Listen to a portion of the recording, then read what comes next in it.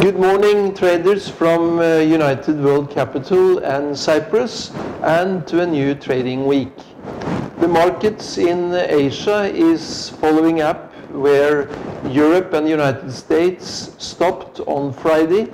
The market is slightly up uh, after then uh, the ECB decision uh, on Friday to then uh, encourage more uh, buying of uh, bonds in the European market.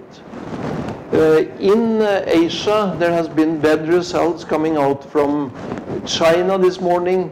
The uh, uh, import figures are much uh, lower than expected, and uh, neither the export uh, figures are in accordance with expectations. The uh, trade balance figures are, however, uh, better than they were in July.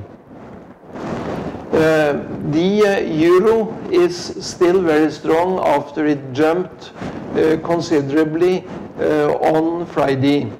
It reached 128.15. It's today back to 127.85. Uh, and it's going to be a new week where the euro US dollar figures are going to be in focus.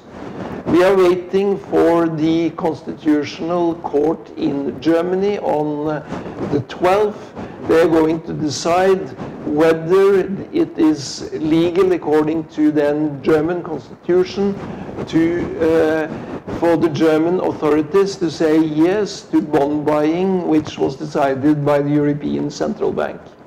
We are also waiting for then the Federal Reserve and their decision on whether to take new economic stimulus for the next quarter. What is also very interesting to see this morning is that precious metals continue to rise. The uh, gold is now trading at 1735 and also the silver prices are strongly up uh, over the last week trading at 33.80 this morning, which is then the highest level we have seen in a long time. Also, the oil prices are very strong.